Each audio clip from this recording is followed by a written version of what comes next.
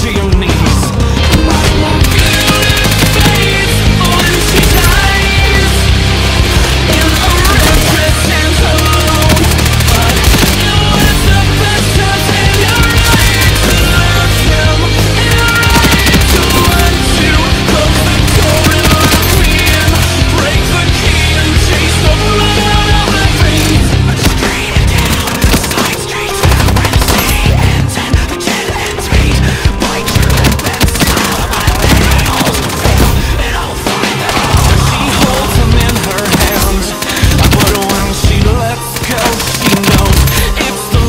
time that she ever will. again.